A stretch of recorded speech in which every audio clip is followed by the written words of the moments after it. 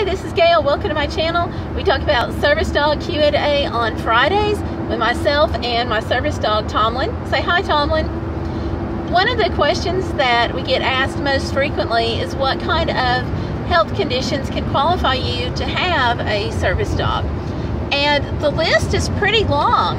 Um, if you have a visual impairment or if you have mobility issues or hearing impairment, certainly PTSD, asthma, epilepsy, um, diabetes, cerebral palsy, early dementia, autism, cancer, um, stroke, um, those conditions.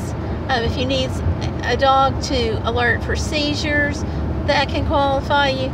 The list is pretty long. Um, I'd actually encourage you to talk to your doctor and check out the ada.gov website.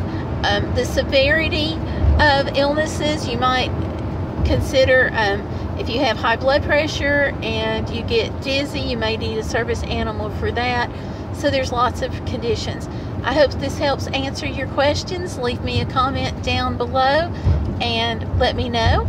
Also i want to say my thank you for your patience.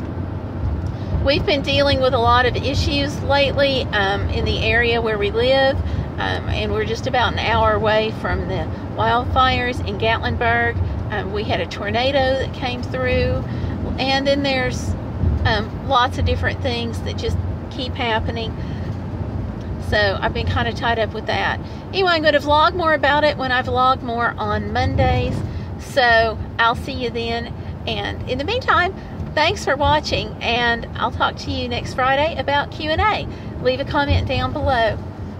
Say bye, Tomlin. Yep, good boy. Thanks for tuning in, and I'll see you out about and online. Bye.